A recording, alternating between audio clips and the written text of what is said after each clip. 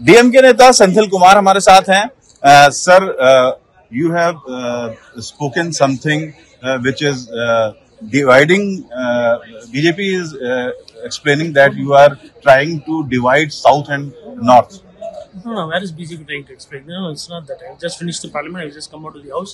I was there inside the house so long, and there were BJP members. There was chairperson.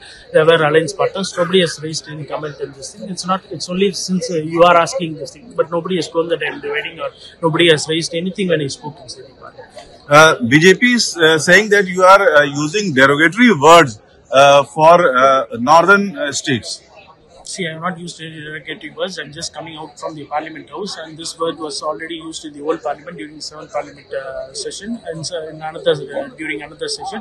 And now also there were members. There were uh, our Home Minister was inside who introduced the bill. There was chairperson. There were alliance partners. There were members. Uh, Parliament is represented by uh, multilinguistic, multicultural, multi-state people, and nobody raised an objection. I don't think this is a discussion. will you take your words back See, the parliament, the house itself has uh, not said and objected to anything what I have said, and uh, it is already on record what I have said before. So I don't think there's any you.